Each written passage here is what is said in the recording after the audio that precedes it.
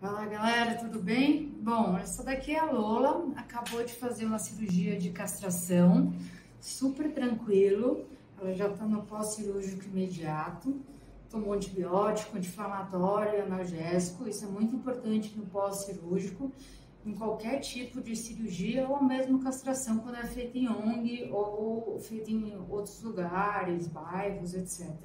Tá? É importante também usar uma roupinha né? Nesse caso, uma roupinha que pegue todo o local da cirurgia, que é realizada aqui na barriguinha. E ela vai tomar analgésico também para casa e anti-inflamatório. Daqui 15 dias a gente tira os pontos e ela vai estar ótima.